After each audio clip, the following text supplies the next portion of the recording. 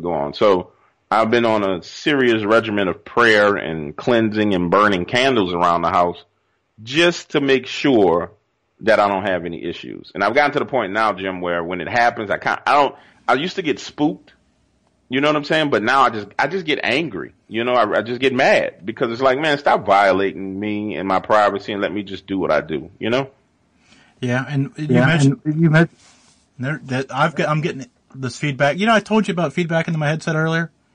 Here it is Right. again tonight, as I'm talking to you. So, um, it's all good.